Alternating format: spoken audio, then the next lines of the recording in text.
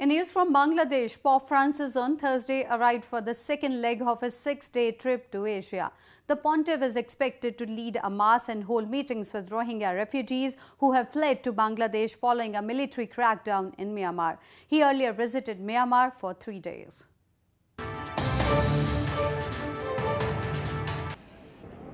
Pope Francis on Thursday arrived in Bangladesh for the second leg of his six-day trip to Asia. The Pope was received by Bangladeshi President Abdul Hamid along with a delegation of religious leaders and other political officials. Francis was accorded a red carpet reception which also included a special welcome by the army and dance performance by a group of children. During his three-day visit, Francis is expected to lead a mass and hold meetings with Rohingya refugees who have fled to Bangladesh following a military crackdown in Myanmar.